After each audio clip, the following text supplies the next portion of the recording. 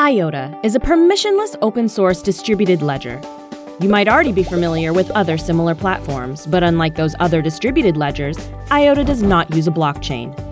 Instead, IOTA uses a brand new quantum proof protocol called the Tangle. The Tangle achieves network consensus differently than blockchain, which provides for a variety of revolutionary new features. In order to send an IOTA transaction, a user verifies two other transactions on the Tangle by performing low difficulty proof of work. The payment for using the network is simply verifying two other transactions, leading to zero transaction fees.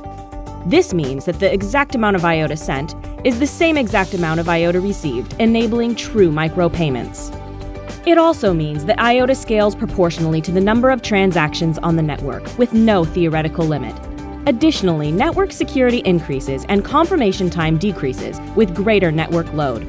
This is in stark contrast to blockchains. Other features include snapshotting, masked authenticated messaging, partition tolerance, a fixed money supply, and an extremely lightweight client.